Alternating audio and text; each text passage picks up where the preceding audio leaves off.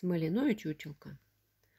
«Что же, лис никогда никогда не поймал кролика, а, дядюшка Римус?» – спросил Джоэль на другой вечер. «Было и так, дружок чуть-чуть не поймал. Помнишь, как братец-кролик надул его с укропом?»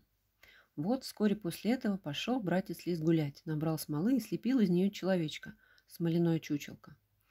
Взял он эту чучелко и посадил у большой дороги, а сам спрятался под куст. Только спрятался, глядь, идет по дороге в прискокочку кролик, скок-поскок, скок-поскок. Старый лис лежал тихо, а кролик, как увидел чучелка, удивился, даже на задние лапки встал.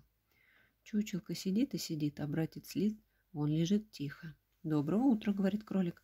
«Славная погодка нынче». Чучелка молчит, а лис лежит тихо. «Что же ты молчишь?» — говорит кролик.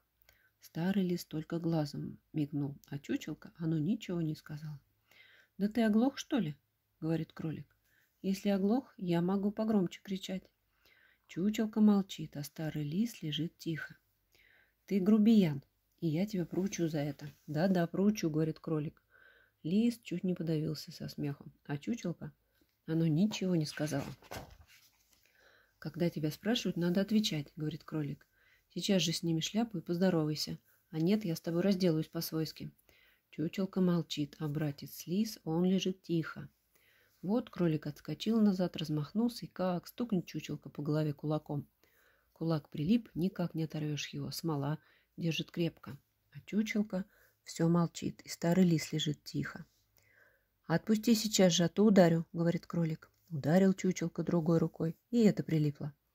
Чучелка не гугу, а братец лис, он лежит тихо.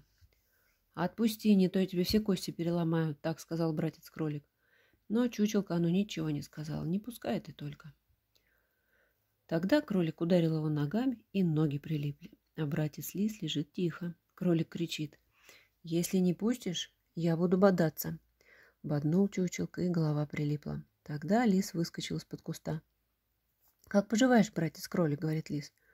«Да что же ты не здороваешься со мной?» Повалился лис на землю и ну смеяться. Уж он хохотал, хохотал, даже в боку заколола. «Ну, сегодня-то мы пообедаем вместе, братец-кролик. Нынче я и укроп припас, так что ты у меня не отвертишься», — сказал лис. Тут дядюшка Риму замолчал и стал вынимать из золы картошку. «Старый лис съел братца-кролика?» — спросил мальчик у дядюшка Римуса. «А кто их знает?» — ответил старик. «Сказка-то кончена. Кто говорит, братец-медведь пришел его выручил, а кто говорит нет. Слышишь, мама зовет тебя. Беги, дружок».